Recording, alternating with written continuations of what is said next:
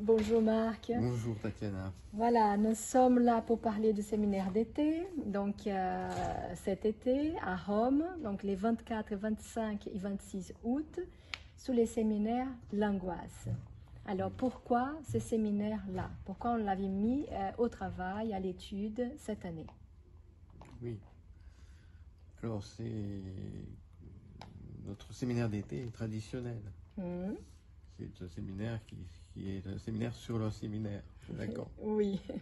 Donc euh, cette année, on a choisi euh, ce, ce séminaire parce qu'il vient juste après le séminaire sur l'identification, qui est un séminaire où Lacan euh, nous explique la, la topologie euh, du cross-cap Hmm.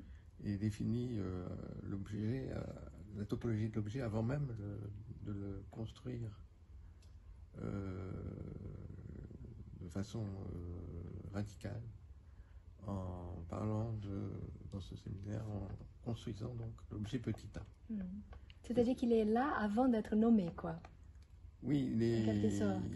il- il- Lacan présente une, sa topologie avant même de- Mm. de- d'en parler.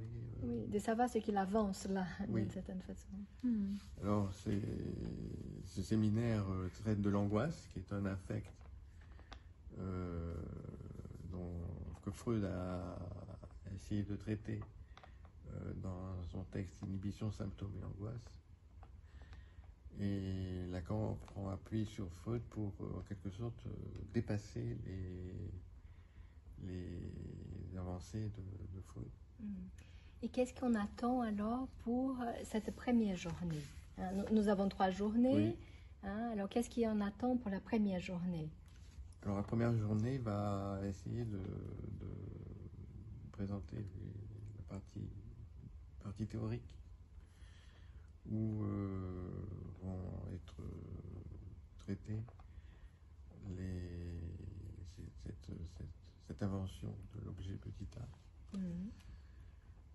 qui amène Lacan à dire que l'angoisse n'est pas sans objet. Hmm. Alors, euh, cet objet petit a va, va reprendre le, le support euh, topologique qu'on trouve dans le séminaire sur l'identification. Et Lacan reprend euh, donc sur le plan topologique la- le schéma optique qu'il Hmm. avait présenté depuis schéma optique, et en mettant, euh, en, en- en fixant sur le col du vase, qui est au centre du schéma optique, Hmm. donc Lacan va placer le cross-cap.